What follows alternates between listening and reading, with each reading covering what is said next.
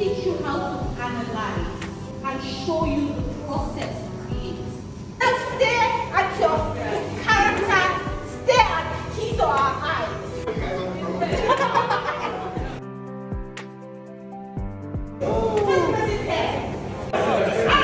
ah! just look at his character and say, oh man, what is He looks at the way he talks. He looks at the way he expresses himself. He looks at the way he walks. He looks at the environment. He looks at his wife. He looks at his children.